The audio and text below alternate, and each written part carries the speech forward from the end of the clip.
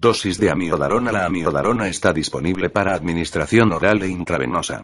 Por vía oral, está disponible bajo el nombre comercial Trangorex, Paceronet producida por Upser Smith Laboratories, Incorporated. Y Cordarone producido por Wietayers Laboratories en tabletas de 200 mg y 400 mg.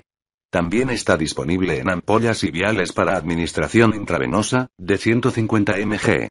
La dosis de amiodarona administrada es ajustada al individuo y a la disritmia que está siendo tratada.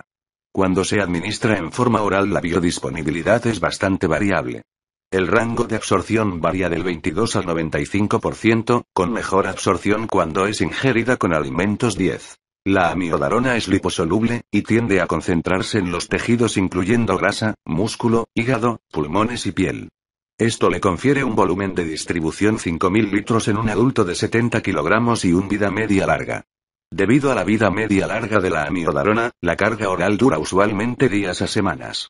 Una dosis de carga típicamente totaliza 10 G, dividida entre una de dos semanas, pero existen muchos regímenes de dosificación. Una vez un individuo es cargado, una dosis típica de mantenimiento es de 100 a 200 mg ya sea una o dos veces al día. Una dosis de carga intravenosa es usualmente de 300 mg en 20, 30 cc de DAT 5% en agua destilada en caso de paro cardíaco. La infusión de carga para disritmias es típicamente de 150 mg en 100 cc de BAC de DAT 5% en agua destilada administrada en 10 minutos.